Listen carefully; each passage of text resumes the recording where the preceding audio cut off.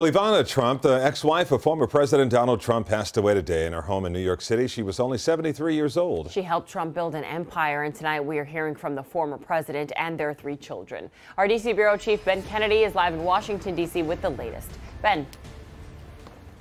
Calvin Nicole, the NYPD said they found Ivana Trump unconscious and pronounced her dead just after noon today. And as you guys just mentioned, we are now hearing from her loved ones.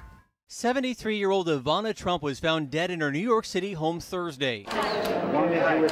She became a prominent figure after marrying then businessman Donald Trump in 1977, the two known as the power couple in the Big Apple.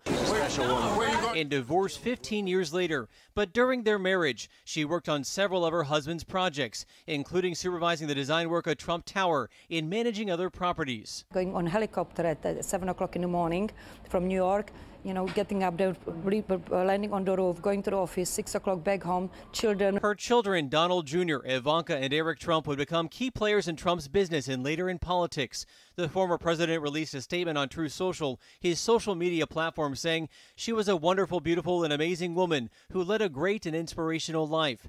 The Trump family added, Our mother was an incredible woman, a force in business, a world class athlete, a radiant beauty, and a caring mother and friend. It's been a very sad day, guys. Very sad day.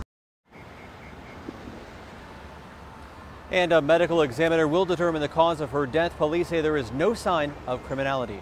Reporting live in Washington, D.C., Ben Kennedy, Local 10 News.